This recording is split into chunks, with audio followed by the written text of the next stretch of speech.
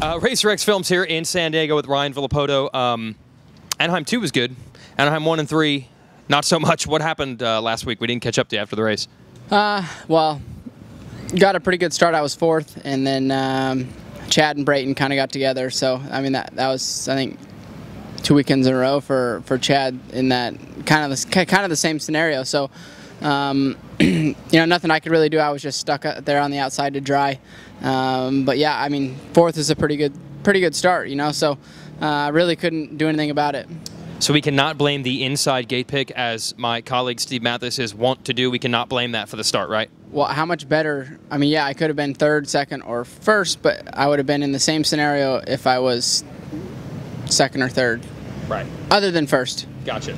What about the rest of the race? There was a crash, and then oh, oh, Michael Alessi, Ryan Villopoto, and we blow that up. I don't think that was anything more than incidental. That was my fault. I, I fell, and then you know he he ran over my bike, and then I helped him get his bike off my bike. So um, very polite. So yeah, uh, that was my fault. I should have never been laying on the ground. But uh, yeah, the I mean after after the first turn, or after the the third turn crash, I mean, man, this, the track, the rain was kind of coming down. It made the track very slippery. And, I mean, nothing I could really do, you know, other than work my way up, up to to where I was, you know, kind of slowly, but um, but surely, you know, it wasn't wasn't what we wanted.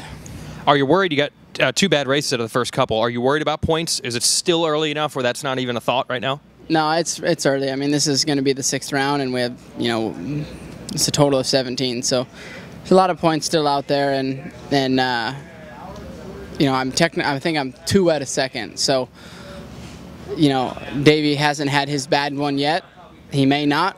Who knows? But but you know, it's it's racing. There's a lot of things that can happen, and and I mean, not even that he has to have a bad a bad weekend. But if if I win and he finishes, you know, fourth or or you know, a couple weekends in a row, I'll be right there within striking distance and points. So, it's it's still uh, still lots of time. Uh, finally, you have a big show on uh, Sunday after this race on CBS. Just talk about that. It's uh, CBS Ryan Villopoto, a champion. Talk about that.